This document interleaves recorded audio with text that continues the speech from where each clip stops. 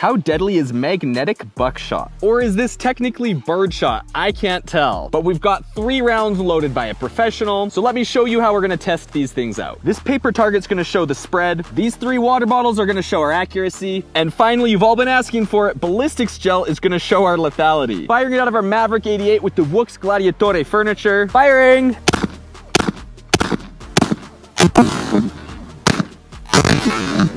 Let's go take a look at the results, but use code CT20 for 20% off any AR500 body armor like this. Take a look at the spread we got here. It looks like a pattern somewhere between buckshot and birdshot. All three of our water bottles have been absolutely decimated, but this is absolutely wild. So is magnetic buckshot deadly? Looking at the ballistics gel, I wouldn't say it's 100% lethal, but it would kill you about 50%. Subscribe for more.